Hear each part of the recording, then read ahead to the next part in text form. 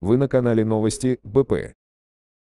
Честно, я ничего вам не могу сказать, я нахожусь в другом городе. До меня слухи пока э, доходят всякие, понимаете, я даже не знаю, где там правда, где там неправда. А Я в Самаре, вот я э, должен был приехать сегодня туда же, когда мне позвонили. У меня не- немножко тут э, пододержались, скажем так. Опрос, допрос сейчас будет тоже, как бы, вот, здесь, у нас. Я служу по контракту, понимаете, я уезжаю, вот, уезжаю, приезжаю один раз в год, например, ну, может, может больше, может чуть меньше. С мамой живем. Мы с мамой в разводе где-то, сейчас скажу, 2009 года. Вот, э, честно сказать, ничего такого не было, вообще ничего. Я, я, я, мне когда сказали, я сам в шоке до сих пор прийти не могу все. Что он это такое вообще сделал?